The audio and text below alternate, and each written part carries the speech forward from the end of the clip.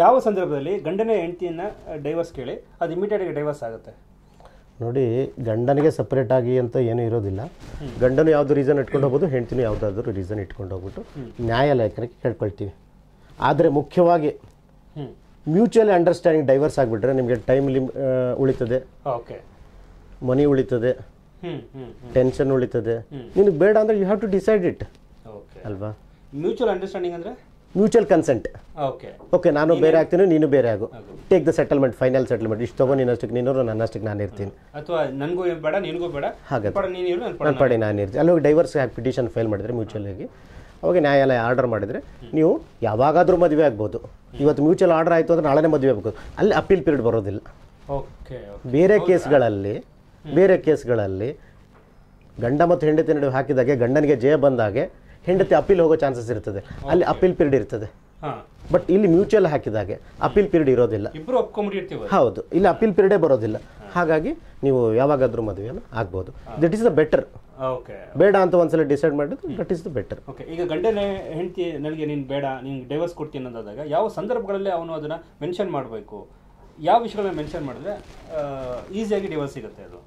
ಇಲ್ಲ ಸತ್ಯವನ್ನೇ ಹೇಳಬೇಕಾಗ್ತದೆ ಯಾವುದು ನ್ಯಾಯಾಲಯದಲ್ಲಿ. ಹಾಗಾಗಿ ಏನು ಸತ್ಯ ಮೊನ್ನೆ ಯಾವುದೋ ಒಂದು ವಿಷಯದಲ್ಲಿ ಹೋಗ್ತಾ ಇದ್ದೆ.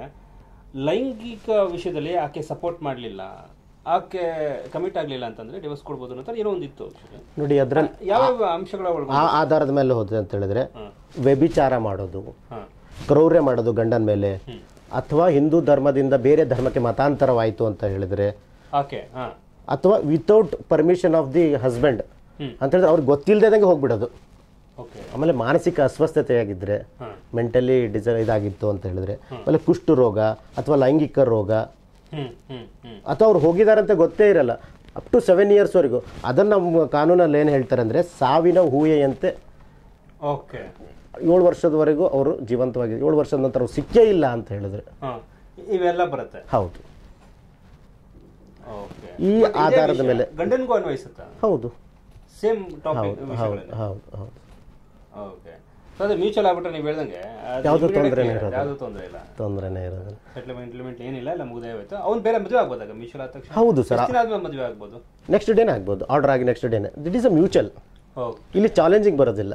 ಇಲ್ಲಿ ಚಾಲೆಂಜಿಂಗ್ ಯಾವಾಗ ಬರ್ತದೆ ಅಂತ ಹೇಳಿದ್ರೆ ಗಂಡ ಚಾಲೆಂಜ್ ಮಾಡಿರ್ತಾನೆ ಹೆಂಡತಿ ಕೂಡ ಚಾಲೆಂಜ್ ಮಾಡಿರ್ತಾಳೆ. ಅದನ್ನು ಅಪೀಲಲ್ಲಿ ಹಾಕ್ತಾರೆ. ನನಗೆ ಈ ಆರ್ಡರ್ ಸ್ಯಾಟಿಸ್ಫ್ಯಾಕ್ಷನ್ ಆಗಿಲ್ಲ. ಟ್ರಯಲ್ ಕೋರ್ಟ್ ಆರ್ಡರ್ ಸ್ಯಾಟಿಸ್ಫ್ಯಾಕ್ಷನ್ ಆಗಿಲ್ಲ ಹೈ ಹೈಕೋರ್ಟಲ್ಲಿ ಅಥವಾ ಡಿಸ್ಟ್ರಿಕ್ಟ್ ಕೋರ್ಟಲ್ಲಿ ಯಾವ ಯಾವ ಕೋರ್ಟಲ್ಲಿ ಹೋಗ್ತೀವಿ? ಅಪೀಲ್ ಪೀರಿಯಡ್ಸ್ ಇರ್ತದೆ. ಅಪೀಲ್ ಪೀರಿಯಡಲ್ಲಿ ಸುಪ್ರೀಂ ಕೋರ್ಟ್ವರೆಗೂ ಹೋಗ್ತಾರೆ. ಓಕೆ ಬಟ್ ಮ್ಯೂಚುವಲ್ ಯಾವ್ದು ಅಪೀಲ್ಗಳೇ ಇರಲ್ಲ. ಇಲ್ಲ ಸರ್ ಇಲ್ಲ ಸರ್ ಮತ್ತೆ ಆಕೆ ಅಥವಾ ಆತ ಡೆವೋರ್ಸ್ ಅಂತ ಬರೋದೇ ಇಲ್ಲ ಅವಾಗ. ಆಕೆ ಡೆವೋರ್ಸ್ ನನಗೆ ದೌರ್ಜನ್ಯ ಆಗಿದೆ ಅಂತ ಮ್ಯೂಚುವಲ್ ಅಂಡರ್ಸ್ಟ್ಯಾಂಡಿಂಗ್ ಆದ್ಮೇಲೆ ಯಾವುದು ವಿಷಯ ಬರೋದೇ ಇಲ್ಲ.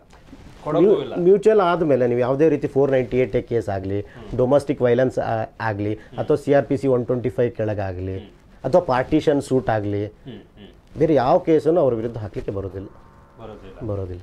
ಯಾಕಂದ್ರೆ ಇನ್ಯಾರೋ ಒಬ್ಬರಿಗೆ ಅವ್ರಿಗೆ ಚುಟ್ ಕೊಟ್ಬಿಟ್ಟಿರ್ತಾರೆ. ಸೊ ಯಾಕೆ ಇಷ್ಟಕ್ಕೆ ಮುಗಿಸ್ಕೊಂಡೆ? ಇದೊಂದು ಕೇಸ್ ಹಾಕ್ಬೇಕಾಗಿತ್ತು ಅಂದಾಗ ಯಾರೊಬ್ರು ಮಿಸ್ಗೈಡ್ ಏನೋ ಮಾಡಿರ್ತಾರೆ ಅಂತ ಇಟ್ಕೊಳ್ಳಿ. ಆಗ ಅವ್ರು ಮತ್ತೆ ಕೇಸ್ ಹಾಕಕ್ಕೆ ಬಂದ್ರೆ ಅದು ನಿಲ್ಲಲ್ಲ. ಹಾಕಿದ್ರೂ ಸಹ ನಿಲ್ಲೋದಿಲ್ಲ. ನಿಲ್ಲೋದಿಲ್ಲ. So very easy okay file ಬೇಕಾ- ಕ್ಲಿಯರ್ ಕ್ಲಿಯರ್ ಅಷ್ಟೇ. ಫೈಲಿಂಗ್ ನೀವು ಏನಾದರೂ ಮಾಡ್ಬೋದು. ಓಕೆ ಅದು decided by the court either merit or demerit merit ಇದೇನೋ ಇಲ್ಲ ಅಂತ decide by the court okay ಈಗ ಈಗ ನೀವು ಹೇಳಿದ್ರಿ ಅವನು ಏಳು ವರ್ಷದ ಒಳಗಡೆ ಆಕೆ ಅಥವಾ ಆತ ಸಿಗ್ಲಿಲ್ಲ ಅಂದಾಗ ಡಿವೋರ್ಸ್ ಆಗುತ್ತೆ. ಲೈಂಗಿಕವಾಗಿ ಆಕೆ ಸಪೋರ್ಟ್ ಮಾಡಲಿಲ್ಲ ಅಂತಂದ್ರೆ ಡಿವೋರ್ಸ್ ಆಗುತ್ತೆ. ಬಟ್ ಇದಕ್ಕೆಲ್ಲ ಸಾಕ್ಷಿಗಳನ್ನ ಒದಗಿಸ್ಬೇಕಲ್ಲ ಸರ್? ಸಾಕ್ಷಿಗಳಿಂದ ಈ ಕೋರ್ಟಲ್ಲಿ ಏನು ನಡೆಯೋದೇ ಇಲ್ಲ ಹೌದು. ಅದಕ್ಕೋಸ್ಕರ ಚೀಫ್ ಎಕ್ಸಾಮಿನೇಷನ್ ಮಾಡ್ತೀವಿ. ನಮ್ಮಲ್ಲಿ ಡಾಕ್ಯುಮೆಂಟ್ಸ್ಗಳನ್ನು ಕಲೆಕ್ಟ್ ಮಾಡ್ಕೊಂಬರ್ತೀವಿ ಬರ್ತೀವಿ. ಅವುಗಳನ್ನು ನ್ಯಾಯಾಲಯಕ್ಕೆ ಒದಗಿಸಿದಾಗ ಅದರ ಆಧಾರದ ಮೇಲೆ ಕೊಡ್ತಾರೆ. ಈಗ ನಿನ್ನೆ ಯಾರೋ ಒಂದು ಕಾಲ್ ಮಾಡಿದ್ರು ನನಗೆ. ಸರ್ ನನಗೆ ಮದುವೆ ರಿಜಿಸ್ಟ್ರೇಷನ್ ಆಗಿಲ್ಲ. ಮ್ಯಾರೇಜ್ ರಿಜಿಸ್ಟ್ರೇಷನ್ ಮಾಡ್ಕೊಂಡಿಲ್ಲ. ನಾವು ನ್ಯಾಯಾಲಯದಲ್ಲಿ ಹೆಂಗೆ ಡೈವರ್ಸ್ ತಗೊಳ್ಬೇಕು? ಓಕೆ ಅಂದ್ರೆ ಗುರು ಹಿರಿಯರೆಲ್ಲ ಸೇರ್ಕೊಂಡು ಮದುವೆ ಮಾಡಿದ್ದಾರೆ. ಹೌದು. ಇವಾಗ ಒಂದು ಕಾನ್ಸೆಪ್ಟ್ ಇದೆ ಸರ್ ಅದು. ಈಗ ನೋಡಿ ಏನಾಗಿರ್ತದೆ ನಮ್ಮ ಪೂರ್ವಜರು ಏನಿರ್ತಾರಲ್ಲ ಅವ್ರಿಗೆ ಇರಲಿಲ್ಲ ನಮಗೆ. ಮ್ಯಾರೇಜ್ ಸರ್ಟಿಫಿಕೇಟ್ ಅನ್ನೋದಿರಲ್ಲ ಇತ್ತೀಚೆಗೆ ಬಂದಿರೋದು. ಈ ಮ್ಯಾರೇಜ್ ಸರ್ಟಿಫಿಕೇಟ್ ಯಾಕೆ ಬರ್ತದೆ ಅಂದರೆ ಔಟ್ ಆಫ್ ದಿ ಕಂಟ್ರಿ ಹೋಗಬೇಕು ಅಂತ ಹೇಳಿದ್ರೆ. ಅಲ್ಲಿ must and should marriage certificate ಬೇಕಾಗ್ತದೆ. ಅಥವಾ ನೆಕ್ಸ್ಟ್ ಈಗ ಜಾಬ್ ಮಾಡ್ತಾ ಇರ್ತಾನೆ. ಅವನು ಎಸ್ ಆರ್ ಅಲ್ಲಿ ಎಂಟ್ರಿ ಆಗಬೇಕು ಸರ್ವಿಸ್ ರೆಕಾರ್ಡ್ ಅಲ್ಲಿ. ಎಸ್ ಆ ಸಂದರ್ಭದಲ್ಲಿ ಈ ಕೆಲವಾರು ಸಂದರ್ಭದಲ್ಲಿ ಮ್ಯಾರೇಜ್ ಗೌರ್ಮೆಂಟ್ ಡಿಪಾರ್ಟ್ಮೆಂಟ್ ಅವರು ಕೂಡ ಹೆಸರು ನೀವು ಹೇಳ್ದಂಗೆ ಗಂಡ ಹೆಂಡತಿರು ಕೆಲಸ ಮಾಡ್ತಾ ಇದ್ರೆ ಒಂದೇ ಡಿಸ್ಟಿಕ್ ಅಲ್ಲಿ ಕೆಲಸ ಮಾಡಬೇಕು ಅನ್ನೋದು. ಏನೋ ಕೆಲವೊಂದು ಕಲ್ಲ ಕಾನೂನುಗಳಿವೆ ಆದ್ರೆ ಕೆಲವೊಂದು ಬೆನಿಫಿಟ್ಗೋಸ್ಕರ ಮ್ಯಾರೇಜ್ ಸರ್ಟಿಫಿಕೇಟ್ ತಗೋಬೇಕು. ಹೌದು ಸರ್ ನಾರ್ಮಲ್ ಪೀಪಲ್ ಕೂಡ ತಗೊಳ್ಳೇಬೇಕು ಅನ್ನೋದಿದೆ ಇಲ್ಲ ಸರ್ ಇಲ್ಲ ಇಲ್ಲ. ನೋಡಿ ಹೀಗೆ ಅದಾಗಿದ್ರೆ ಮಾತ್ರ ಊರ್ಜಿತ ಸೈನ್ ಹಾಕಿದ್ರೆ ಮಾತ್ರ ಊರ್ಜಿತ ನೀವು ಎಷ್ಟೇ ಲಕ್ಷ ಕೋಟಿಗೆ ಸಂಪಾದನೆ ಮಾಡ್ಕೊಂಡು ಸಾವಿರಾರು ಜನದ ಸೇರಿಸ್ಕೊಂಡ್ರು ಕೂಡ ಅದು ಮದುವೆ ಎಲ್ಲ ಸೈನ್ ಹಾಕಿದ್ರೆ ರಿಜಿಸ್ಟ್ರೇಷನ್ ಸೈನ್ ಹಾಕಿದ್ರೆ ಮಾತ್ರ ಇಲ್ಲ ಇಲ್ಲ ಇಲ್ಲ ಸರ್ ಆ ರೀತಿಯಲ್ಲೂ ಇಲ್ಲ. ಮ್ಯಾರೇಜ್ ಸರ್ಟಿಫಿಕೇಟ್ ಬೇಕೇ ಬೇಕು ಡೈವರ್ಸ್ಗೆ ಅನ್ನೋದು ಕಾನ್ಸೆಪ್ಟೇ ಇಲ್ಲ. ವಿತೌಟ್ ಮ್ಯಾರೇಜ್ ಸರ್ಟಿಫಿಕೇಟ್ ಅಷ್ಟೇ ಮದುವೆ ಆಗಿರೋದಕ್ಕೆ ನಿಮ್ಮ ಹತ್ರ ಸಾಕ್ಷಿಗಳ ಫೋಟೋಗಳಿರ್ತದೆ ಓಕೆ ಆಮೇಲೆ ಛತ್ರದ್ದು ಬಾ ರೆಸಿಪ್ಟ್ ಇರ್ತದೆ. ಆಮೇಲೆ ತಂದೆ ತಾಯಿ ಇರ್ತಾರೆ ಅವ್ರ ತಂದೆ ತಾಯಿ ಇರ್ತಾರೆ ನಿಮ್ಮ ತಂದೆ ತಾಯಿ ಇರ್ತಾರೆ. ಮದುವೆ ಆಗಿಲ್ಲ ಅಂತ ಹೇಳಿ ನೀವು ಹೇಳಲಿಕ್ಕೆ ಆಗಲ್ಲ. ಮದುವೆ ಆಗಿರೋದು ನೀವು ಎಕ್ಸೆಪ್ಟ್ ಮದುವೆ ಆಗಿದ್ದು ಎಕ್ಸೆಪ್ಟ್ ಆದಮೇಲೆ ನಿಮಗೆ ಡೈವರ್ಸ್ ಬರೋದು. ಅಲ್ವಾ.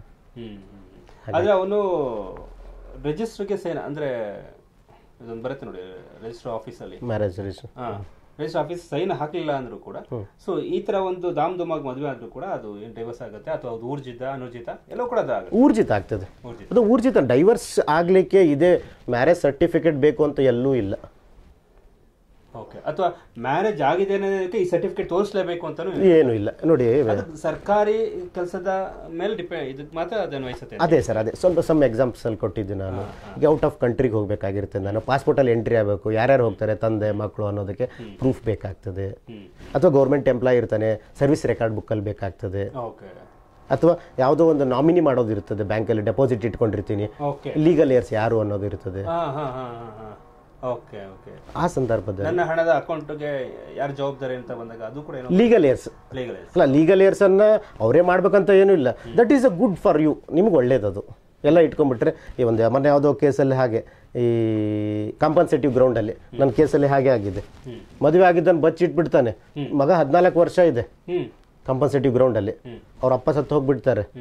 ಪಿ ಟಿ ಸಿ ಎಲ್ಲ ಹಾಕಿರೋದ್ರಲ್ಲಿ. ಇದೆ ಇವಾಗ ನಾಳೆ ಹಾಕ್ಬೇಕು ಅದನ್ನು ಕರ್ನಾಟಕ ಪವರ್ ಟ್ರಾನ್ಸ್ಪೋರ್ಟ್ ಇದರಲ್ಲಿ. ಓಕೆ ಆ ಕೇಸಲ್ಲೂ ಹಾಗೆ ಆಗಿರೋದು. ಎಲ್ಲೂ ಎಸ್ ಆರ್ ಎಲ್ ಬರೋದಿಲ್ಲ. ಎಸ್ ಆರ್ ಅಲ್ಲಿ ಅಪ್ ಟು ತಂಗಿ ಹೆಸರೇ ಇದೆ. ಆಮೇಲೆ ಅದನ್ನು ನಾವು ಅದನ್ನು ನಾವು ಇದರಲ್ಲಿ ಮಾಡಿಸ್ಕೊಂಡ್ ಬಂದಿದ್ದು ಕೋರ್ಟಲ್ಲಿ ಇದು ರೈಟ್ ನ್ಯೂಸ್